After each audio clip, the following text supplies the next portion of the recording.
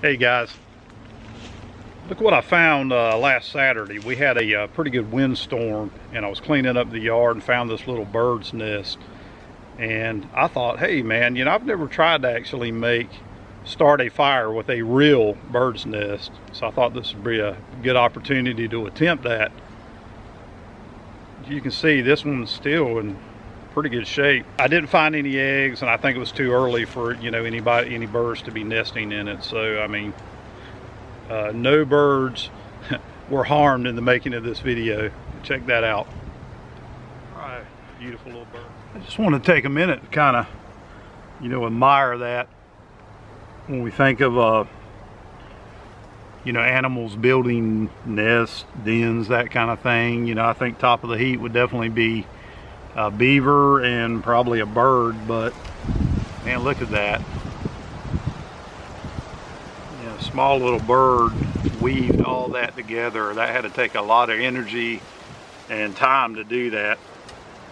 That's really pretty amazing. All right, here we go. Let's see, let's see what'll happen with this real bird's nest if I try to just utilize this to start a fire. Now I'm gonna use my Ferrocerium rod here to see if I can get this going. Um, it is kind of windy today, so that could uh, could affect my attempt.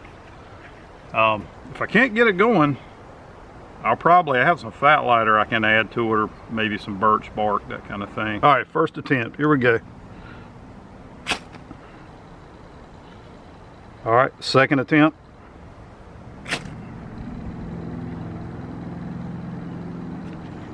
All right, third attempt.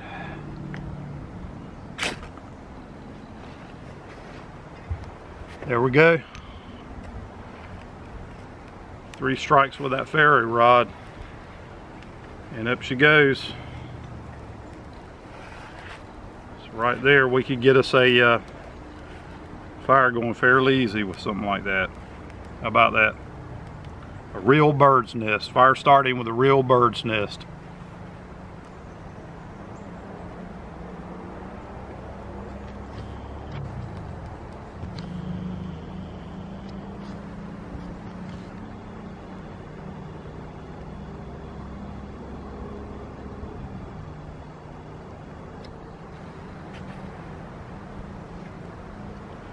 Wow, that's sustaining that fire uh, quite some time.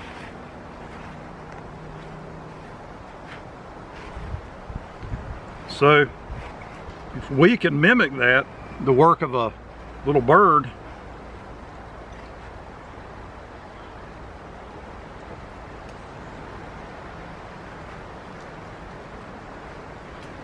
we can mimic that work, we're going to be able to start us a fire.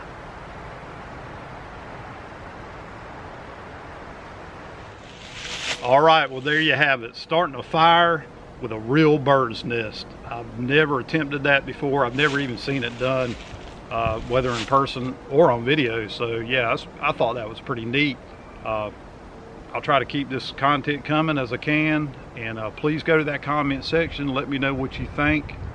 Whether you're on the water or in the woods, be safe out there. We'll see you soon on Topsail Outdoor Adventures.